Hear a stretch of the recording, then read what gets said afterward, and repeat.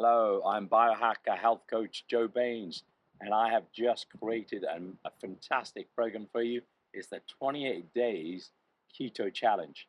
Now, I've been keto for almost 10 years, and I find being keto is easy, it's simple, it's quick, it's time saving, it's cheap, and and it's and the food is delicious. I love the food, right?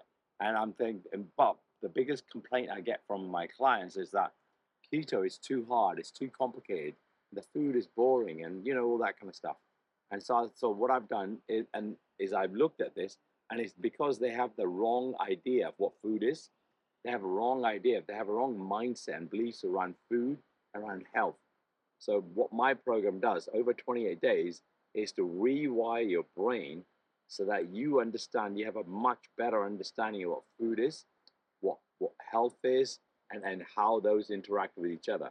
And once you have that, then what happens is that you will naturally start making better, healthier food choices.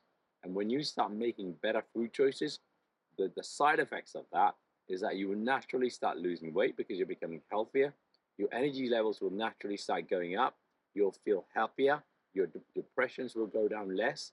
Uh, and you'll have a lot more energy. And so you'll find yourself naturally more productive and a happier person to be around because, you know, because uh, bad food makes you depressed and causes anxiety inside you. Uh, so join my 28 day keto challenge.